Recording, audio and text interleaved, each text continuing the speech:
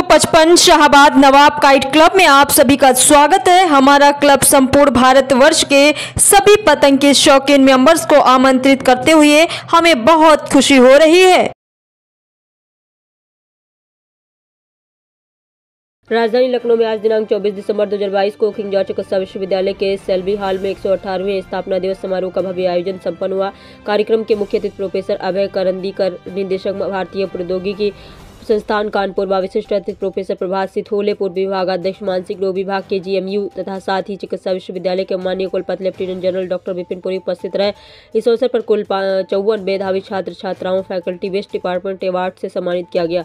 कार्यक्रम का शुभारंभ माननीय कुलपति lieutenant general doctor Vipin Puri के स्वागत संबोधन के साथ हुआ। इस अवसर पर माननीय कुलपति जी द्वारा चिकित्सा विश्वविद्यालय का वार्षिक प्रगति रिपोर्ट प्रस्तुत की गई। कार्यक्रम के शुभारंभ में के जीएमयू के माननीय कुलपति lieutenant general doctor Vipin Puri द्वारा स्वागत संबोधन प्रस्तुत किया किया गया। इस अवसर पर कुलपति जी ने विगत एक वर्ष में चिकित्सा विश्वविद्यालय द्वारा प्राप्त की गई उपलब्धियों का उल्लेख किया गया। उनके द्वारा बताया गया कि एमबीबीएस छात्रों के पहले बैच ने अक्टूबर उन्नीस ग्यारह में इकतीस छात्रों के साथ किंग जॉर्ज मेडिकल कॉलेज में प्रवेश किया। तब से के जी ने तीस हज़ार से अधिक पूर्व छात्रों को चिकित्सक बनाने का कार्य किया, जो इस कॉलेज के गौरव हैं और भारत की दुनिया भर में चिकित्सा पेशे की सेवा कर रहे हैं।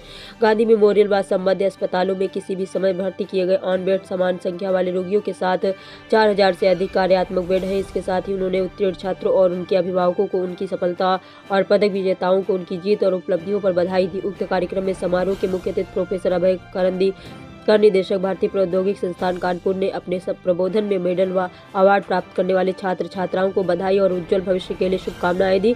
अपने अनुभव को साझा किया। उपरोक्त कार्यक्रम में विशिष्ट विशिष्ट अतिथि प्रोफेसर प्रभात सिथोले, पूर्व विभागाध्यक्ष मानसिक रोग विभाग के जीएमयू ने इस अवसर पर मेडल प्राप्त करने वाले मेधाइयों को बधाई देते हुए छात्र छात्राओं को सफल जीवन के मंत्र बताए।